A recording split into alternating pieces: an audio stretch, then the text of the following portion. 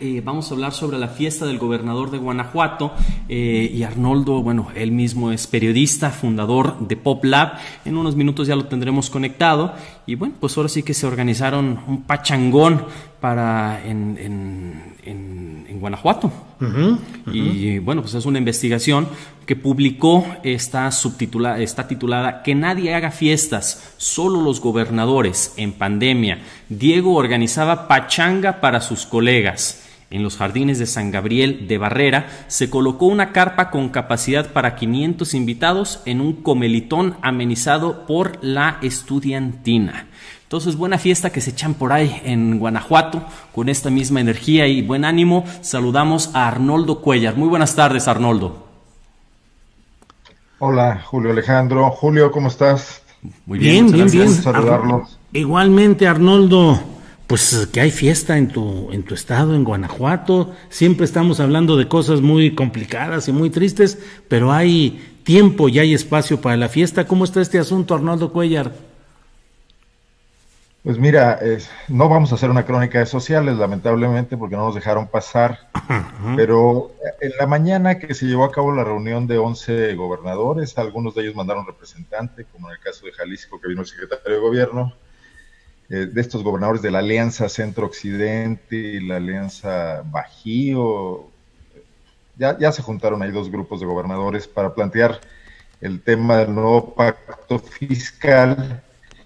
Me decía una de nuestras colaboradoras en PopLab, no hay nota, es lo mismo de la vez pasada en Dolores Hidalgo, está repitiendo, no hay ninguna novedad interesante. No, pues qué barbaridad, bueno, se juntaron 11 gobernadores, pasearon por Guanajuato, eh, por cierto, Guanajuato que está con graves problemas desde la pandemia, con el alcalde endureciendo eh, posturas para que la gente no salga, para que los bares cierren, etcétera, sin clases en la universidad, tú sabes lo que es Guanajuato sin los estudiantes, sin turismo. Pero bueno, pues los gobernadores sí se pasearon a gusto con Diego Sinue como guía de turistas. Pero, pero más tarde, y te quiero confesar que esto no fue un mérito periodístico de Pop Lab, que mucho nos gustaría presumir, porque había un blindaje de alrededor de no sé, 100 o 200 guardias de las Fuerzas de Seguridad Pública del Estado que hacían imposible llegar a esta hacienda de San Gabriel de Barrera, donde el gobernador invitó a comer, entiendo que no a todos, algunos de los gobernadores, pero gente que estaba en el lugar, gente que estaba siendo desalojada de la propia hacienda, propiedad del DIF estatal, famosa porque ahí eran los comelitones del siglo XX de los gobernadores priistas, tú recordarás Enrique Velasco Ibarra, Luis Ducoin, Rafael Corrales Ayala, cerraban esta hacienda y amanecían ahí, es todo un símbolo aquí de la cortesanía del poder público en Guanajuato. Bueno, ahí agasajó Diego a estos gobernadores con una carpa enorme, eh, quien, quien nos pasa la información y las fotografías, que es un ciudadano eh, indignado, nos dice, es una carpa de lujo para 500 personas. Entiendo que no estaba llena, no podemos saber cuánta gente había porque hasta ahora no han podido dar el dato, quieren que lo pidamos por acceso a la información pública. Pero esto rápidamente escaló, se volvió viral. Julio, publicamos la nota sin pensar la trascendencia que iba a tener. Y de pronto vemos que la gente común y corriente en Guanajuato, indignada porque la ciudad está eh, pues, al borde de, de, la crisis total y absoluta de ingresos, y los eh, empresarios de los servicios de León, restauranteros, hoteleros, eh, banqueteros, enojados porque tienen alrededor de dos semanas tratando de que les permitan iniciar actividades con todos los protocolos sanitarios en un porcentaje de su capacidad de operación y ven que el gobernador organiza esto. Y otro reportero ciudadano, un, un destacado empresario de servicios eh, de este tipo, sube un post a, su página de Facebook donde balconea este postre con hojas de oro que le sirvieron a los gobernadores en medio de la, de la pandemia y esto se vuelve absolutamente viral. O sea, sí hay un grave distanciamiento de estos políticos, de estos políticos que todavía no entienden que ya no se puede andar en aviones como los de Peña Nieto, ni hacer comelitonas con el país que tenemos, Julio. Guanajuato no es solamente la pandemia, es la inseguridad que también nos tiene eh, muy atados y muy constreñidos eh, en las actividades que cotidianamente se realizaban en una entidad turística. Eh, no sé si estás enterado, pero este tema de un secuestro en Vallarta de un grupo de, turistas leoneses también está trascendiendo. Claro. Tampoco hay mucha información. Entonces, yo sobre todo me referiría a este desapego de una clase política que plantea replantear la República y su pacto fiscal y no se hace cargo de que sus gobernados están pensando otra cosa, tienen otras necesidades y están reclamándoles un mínimo profesionalismo y una mínima atención a sus problemas.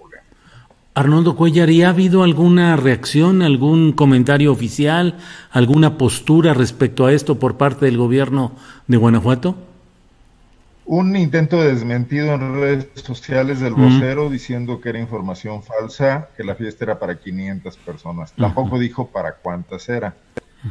Pedimos la información al día siguiente y nos dijeron que fuéramos por transparencia. Tú sabes que los plazos de transparencia están alterados y no se están respetando. Eh, no hay una postura oficial al respecto y hay varias cartas, hay una carta sobre todo de los organizadores de eventos que están planteando que, bueno, que si este es el banderazo de salida para que ya ellos también puedan organizar sus propias actividades, que se los avisen, ¿no? Pero no, hasta ahora no tenemos ni siquiera un intento de disculpa pública, una aclaración, una explicación, nada. Déjame también precisarte rápidamente que Guanajuato Capital es una ciudad muy ofendida con el gobernador Diego Sinué, porque él no radica ahí ni tampoco trabaja ahí. Pese a ser la sede de los poderes, Julio, el gobernador Diego Sinué despacha en un lujoso edificio inteligente del distrito de negocios del puerto interior en Silao, Guanajuato. No ah. sabemos si paga la renta, si compra, si le concesionaron, si le obsequian el espacio, pero él no se para en la capital del estado, ni su secretario de gobierno, ni su jefe de gabinete, entonces en Guanajuato también esto afecta muchísimo. Es una ciudad acostumbrada a un trato con los gobernantes y a una economía en torno a ello también. ¿no?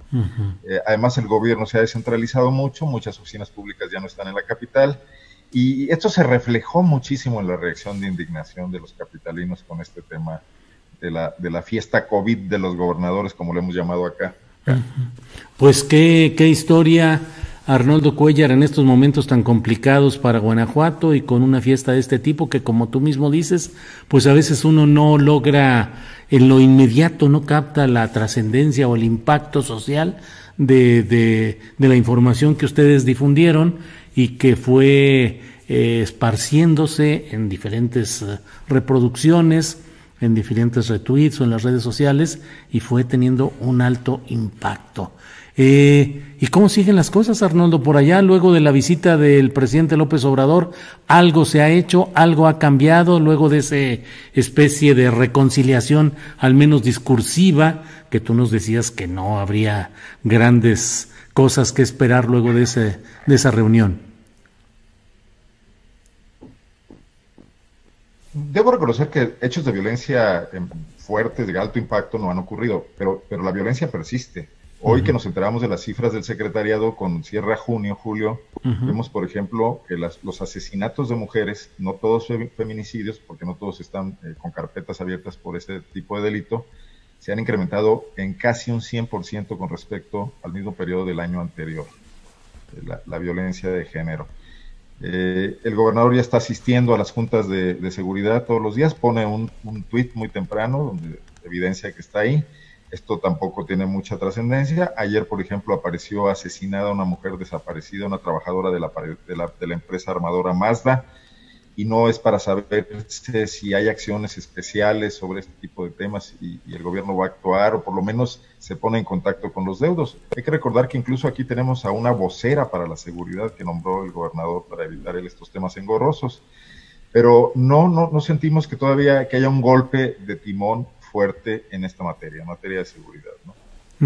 Bien, pues estaremos atentos, Arnoldo Cuellar, a cómo siguen desenvolviéndose estas situaciones y por lo pronto, pues muchas gracias por esta información y gracias además por develar esa nota donde parecía que no había nada, parecía que no iba a haber más que lo de siempre y sin embargo, a veces nos dicen los maestros de periodismo, Arnoldo, este no es que no haya nota, o sea, a veces lo que eh, siempre hay nota. Bueno, déjame decirte que una postura interesante fue como muchos de nuestros colegas, medios de comunicación de los llamados convencionales, eh, bajaron esta información de sus portales, no la reprodujeron, no la han abordado, los columnistas no han tocado el tema, en una operación interesante donde el gobierno no enmienda el error, pero trata de evitar que se difunda. Claro. Cuando nos contactaron algunos de los eh, organizadores de eventos, nos decían, pero ustedes iban a publicar no les va a hablar el gobierno y les va a pedir que no publiquen la nota. O sea, también la prensa merita una sacudida en medio de todo esto, mi estimado oh, Julio, porque tampoco estamos entendiendo el sentir de la gente. Así es, así es, totalmente. Arnoldo, pues muchas gracias y seguiremos en contacto. Saludos a ambos, gracias. Gracias, hasta luego. Muchas